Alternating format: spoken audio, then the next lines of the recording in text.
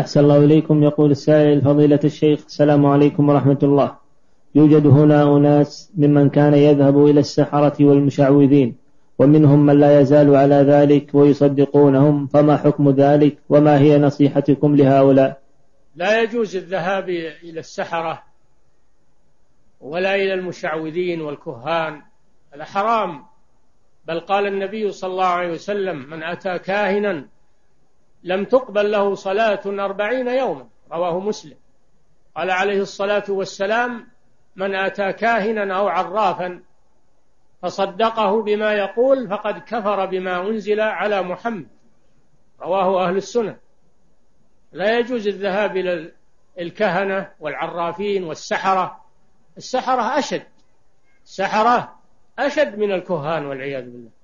لا يجوز الذهاب إليهم ولا يجوز العلاج عندهم ولا يجوز تصديقهم ولا يجوز لأحد أنه يسكت عنهم. إذا علم بوجودهم يجب عليه يبلغ يبلغ عنهم السلطة لأجل الأخذ على أيديهم. ما يجوز السكوت عليهم وتركهم.